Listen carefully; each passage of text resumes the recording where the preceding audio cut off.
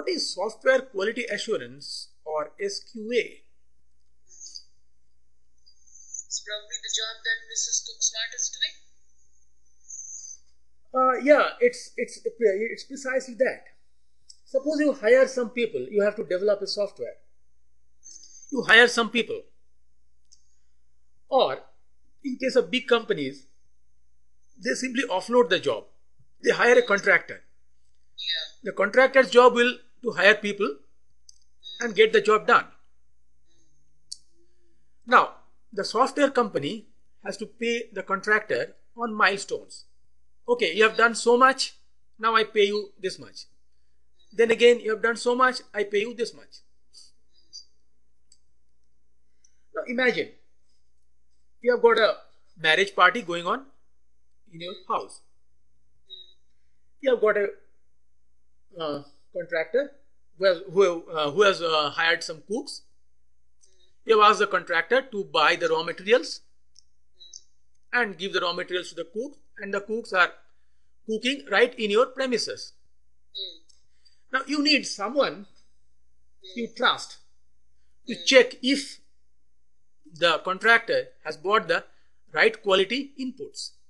Yeah. And also, you need someone to check if the cook is good enough. Hmm. Otherwise, ultimately, you are going to face embarrassment in front of the guests. Hmm.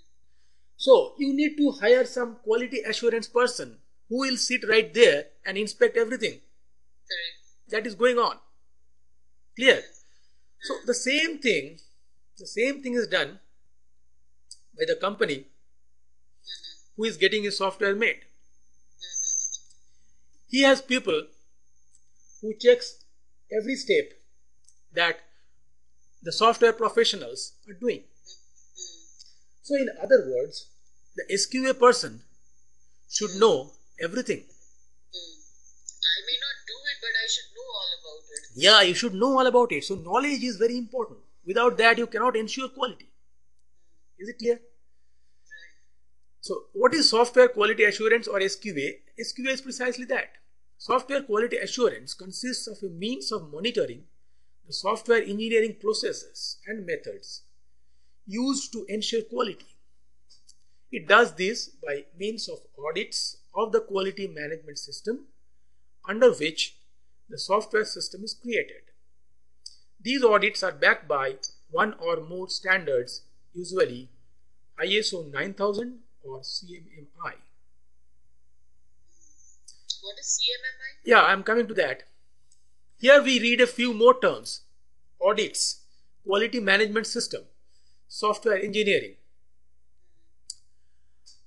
Well, first thing is very clear that uh, somebody has to uh, monitor everything that is going on while a software is being developed. Now, a software development may involve millions of dollars, sometimes, sometimes even more. So it's a high stake project. Some software development is even discarded midway. Suppose a client has paid a few million dollars and then the client discovers that the people who are developing the software are not able to deliver what the client wants. Then client discards the project losing those millions of dollars. And these things happen frequently. So, right from the beginning, the client should be very, very cautious that everything that is going on is going to help the client's need ultimately.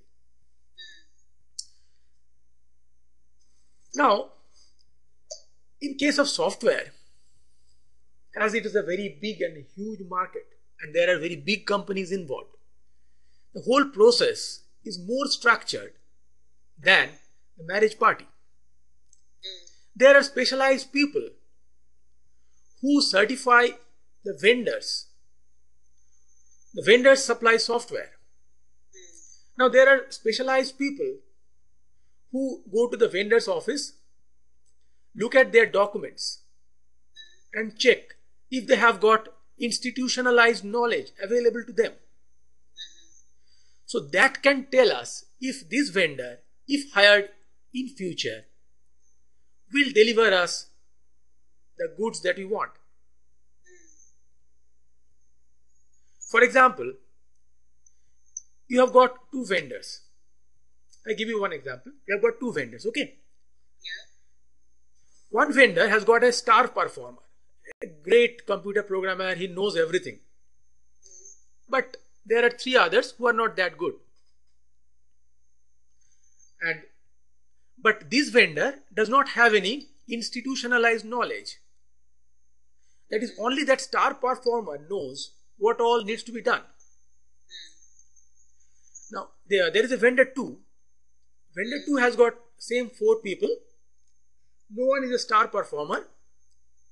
But vendor 2 had a star performer in the past. And from that star performer, the vendor 2 has made some video cassettes, uh, uh, video records, which uh, documents the whole process. What to do and how to do. How to um, develop a software. Yeah. So entire thing, entire knowledge is institutionalized in vendor 2. But in vendor 1, the whole outcome depends upon one particular star employee. Yeah. Now you want to hire one of them for a project which lasts for let's say one year. Now which one uh, will you prefer? The one who has got his systems institutionalized. Why? Because uh,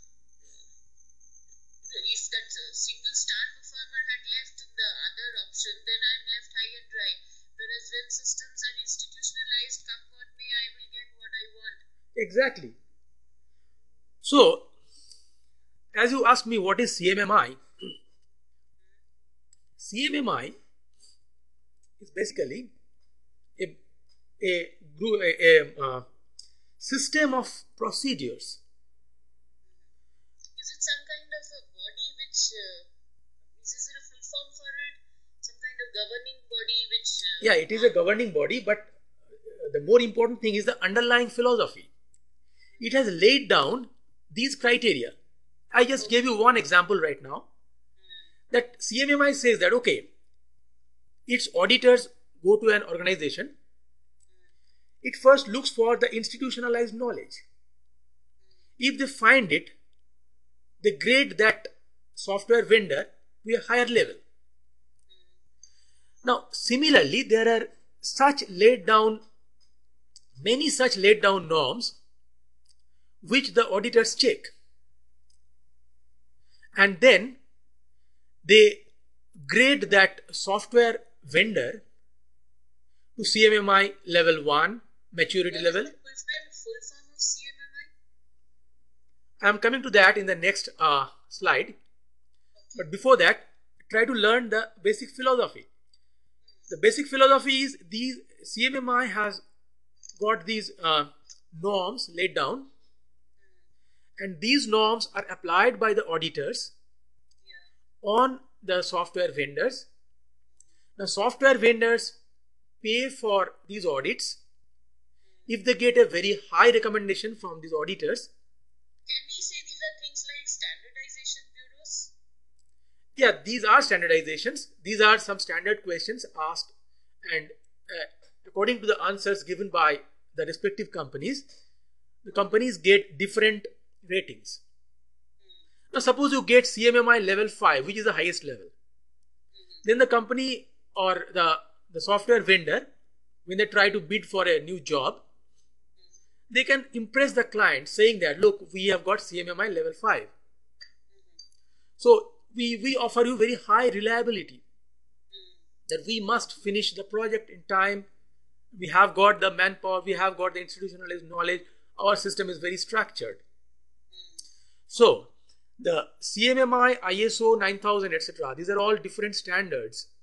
And there are auditors which check if the respective software vendors are implementing those standards in their day to day operation